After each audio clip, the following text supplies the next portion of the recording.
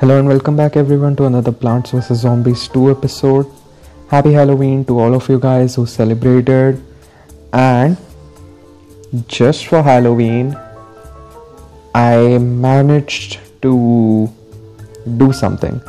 Okay, now I've switched off my Wi-Fi cause then hopefully I won't get any ads cause that's how it works. Also I won't be playing Battles of any Pursuit anyway right now so that's not a concern. Now, this is what I'm interested in showing you. Okay, I bought the concealment, and the bigger thing right here shadow pea shooter.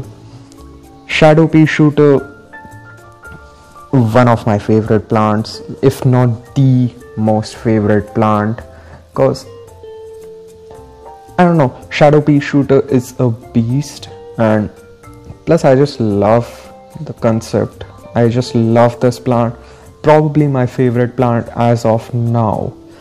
Now, what makes it so amazing? We'll get to it.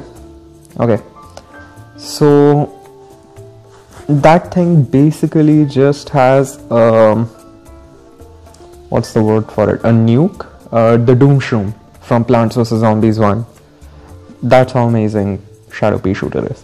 Now you will see okay? So today is not about concealment. I'll do concealment some other day. Today it's all about the shadow pea shooter. Just for the sake of it i'm gonna carry all the shadow plants cause they're all cool. Here's the main shadow pea shooter. Mm the mushroom. I'll upgrade him just because I can.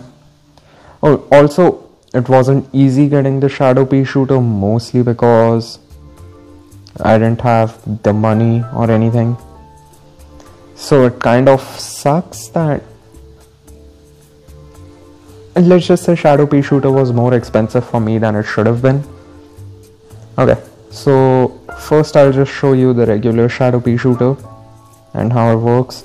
I'm gonna fast forward it because I don't want to waste anyone's time. Okay. So I just do this. Okay. Uh, the plant food basically gives a mini nuke.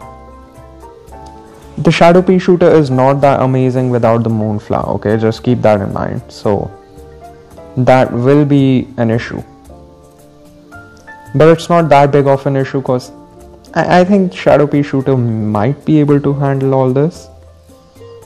And if it's not able to handle it, like we have to plant food, so we can give that.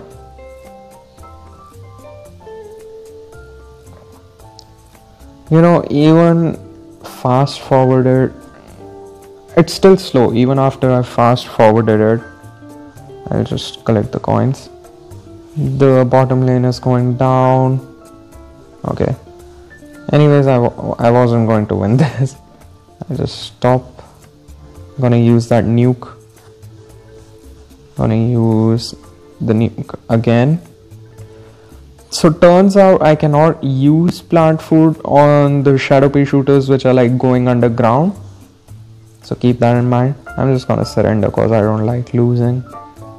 So I'll just go save and exit that's the first part of it. Now the second one i'll just go back to the basics because i'm just trying to showcase the plant here so yeah. Mm, i'll just go with level 1 yeah i think level 1's good enough. The same thing but without uh, like I'm just gonna chuck ailment out and put this in. Now we have all concealment family. Probably my favorite family in the game right now. it's so good that I was able to unlock the Shadow Pea shooter during Halloween. I genuinely did not think that I'd be able to unlock him though. So, personally, kudos to the to PopCap, I suppose, EA at this point, um, for bringing him back and allowing people to, you know, have a chance to unlock such an amazing plant.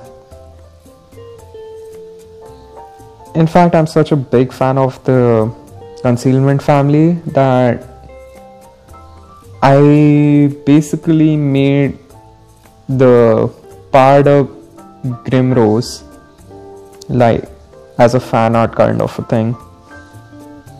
Okay, I'm just gonna do this. That's OP in its own regard. A video coming out soon on concealment as well though it's pretty self uh, explanatory so don't have to worry about that i'm just gonna go get some sun real quick fill all the lanes and this is basically the doomshroom nuke okay it didn't okay they died too soon but trust me it attacks all five lanes so that's amazing. So yeah i guess this is it for the shadow pea shooter. That's all it can do but it's amazing. Also when it's powered up the laser beam has strike through that's first. And when it has moonflower it can basically take down two zombies basically what the Grimrose does so shadow shooter goes into the ground takes a zombie with him and it can do it twice under the influence of moonflower. And if you're able to hit the zombie with its beam um, you know powered up with the moonflower it slows down the zombie. So it's amazing. It has like pretty unique concept i'd say.